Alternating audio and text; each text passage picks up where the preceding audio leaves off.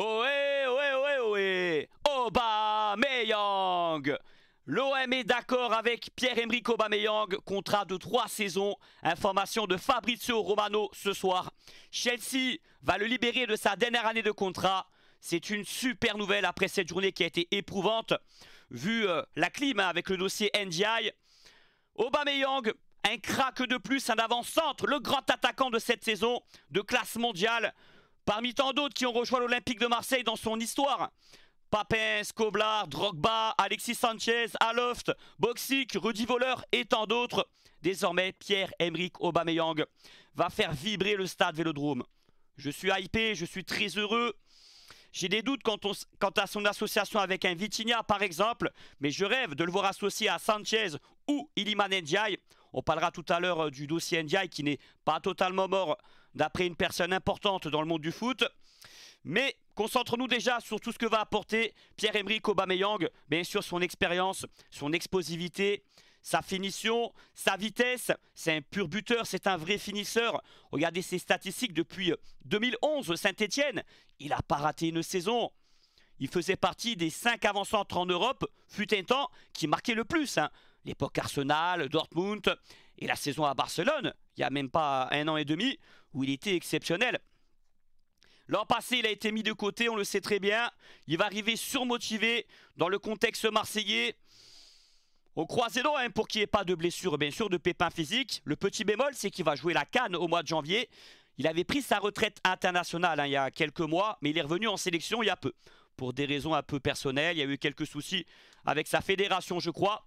Mais je suis tellement heureux d'avoir Pierre-Emerick Aubameyang.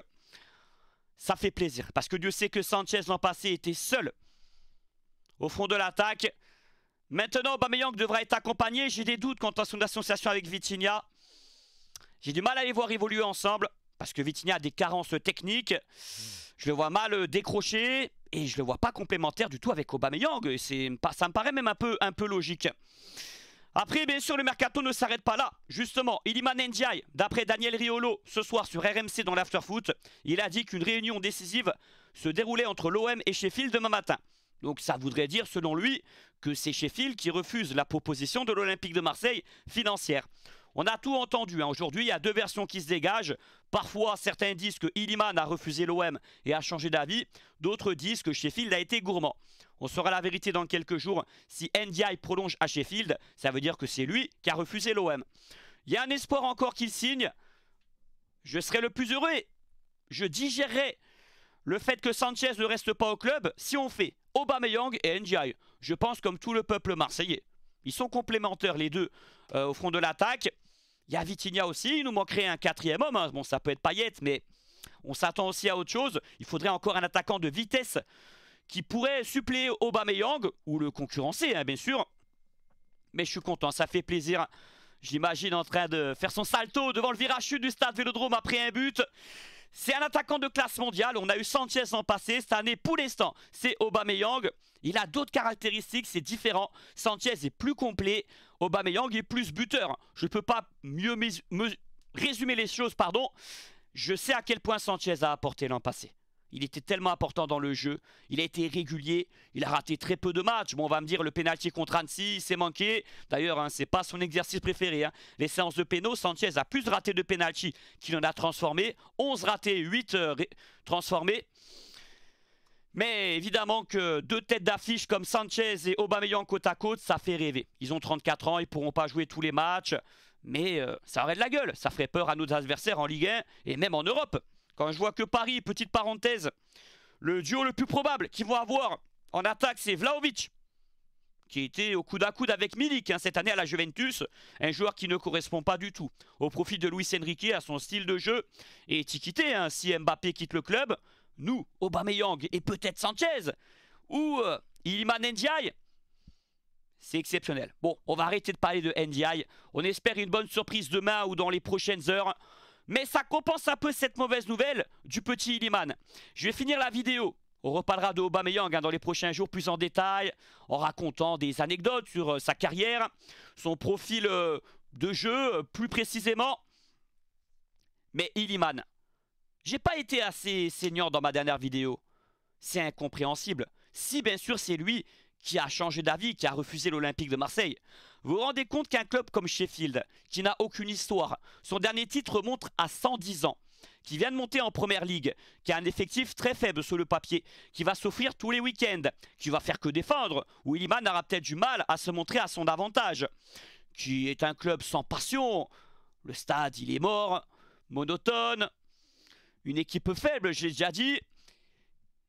L'OM qui jouera la Ligue des Champions, certainement, on l'espère. Au niveau médiatisation, quand tu réussis à l'OM, c'est plus fort que réussir à Sheffield, un club de bas tableau de première ligue. Et je vous l'assure, des exemples l'ont prouvé. Hein, Drogba, Ribéry, Saliba, quand ils cartonnent chez nous, ils joueraient dans une équipe joueuse de haut tableau comme l'Olympique de Marseille, avec des joueurs supérieurs, et ils réaliseraient un rêve depuis tout petit qu'il a dans la tête de jouer à l'Olympique de Marseille et faire trembler le Vélodrome. C'est incompréhensible, Illiman. Peut-être il s'est fait euh, influencer, on lui a monté la tête, faut rester en première ligue. Et surtout, peut-être qu'il a une prolongation de contrat avec une promesse de départ dans un an ou deux ans et une forte revalorisation salariale. Mais c'est triste, c'est triste quoi. Le projet de préférer un club de bas tableau de première ligue par rapport à un club mythique, passionnel comme l'Olympique de Marseille, qui est sur la bonne voie, qui a un bon projet avec Longoria depuis quelques années, c'est tristouné. Et d'ailleurs, petite parenthèse, les supporters de l'OM là, c'est pas eux qui signent à l'Olympique de Marseille, c'est plutôt les Parisiens ou les joueurs issus de la région parisienne, Gendouzi, qui pouvaient signer en première ligue. Après son année à Offenheim, il choisit le projet OM. Kondogbia, supporter de Paris hein, étant jeune, hein, qui pouvait aller en première ligue. Il choisit l'Olympique de Marseille. Aminarit, né en région parisienne, il choisit de venir à l'OM il y a deux ans de ça. Voilà. Soi-disant les amoureux de l'Olympique de Marseille. Ils ont euh, d'autres choix, d'autres décisions. Après, il y a peut-être aussi le manque de couilles, j'ai envie de dire. Parce qu'il y a une grosse pression autour de lui, il est tout jeune. On l'attend euh, bras ouverts. Mais on connaît... Euh, on a dû lui dire l'OM, c'est un club à forte pression. Mais bon, si tu as le niveau, si tu as du talent, hein, tu la surpasses la pression. Et si tu réussis chez nous, tu vas au sommet. Au sommet de l'Europe, chez les plus grands. Voilà, ça reste quand même une journée euh, assez positive. Vu euh, le transfert acté d'Aubameyang, c'est fait à 98%. Hein. Il reste un minime pourcentage je dirais même pas d'incertitude, parce que l'accord est total avec l'Olympique de Marseille contractuellement. On sait que Chelsea ne compte pas du tout sur lui.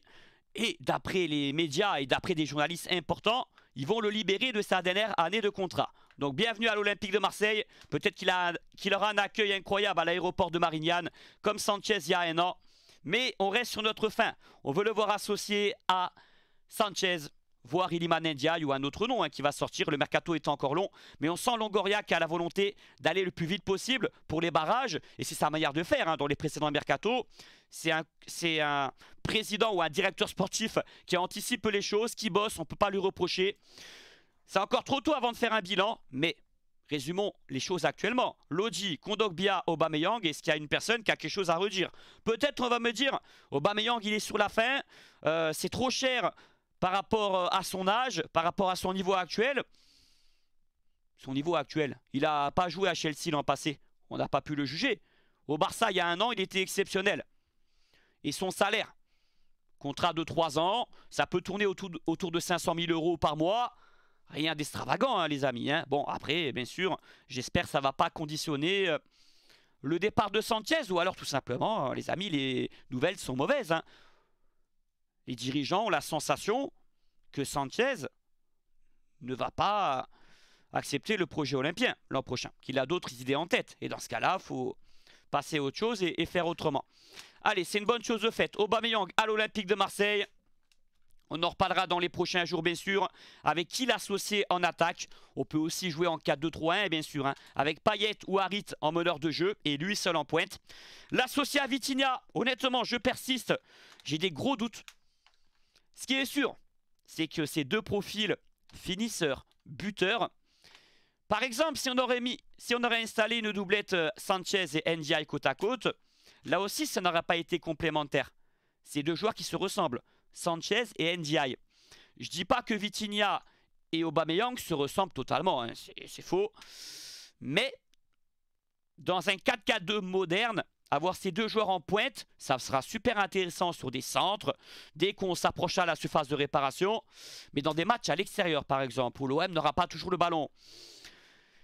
Je pense qu'il faut un attaquant capable de décrocher dans un profil plus créatif, un avant-centre également, hein, comme Sanchez par exemple, plus complet, capable de donner des caviars à un Aubameyang par exemple, qui est capable de prendre la profondeur malgré ses 34 ans, qui est explosif.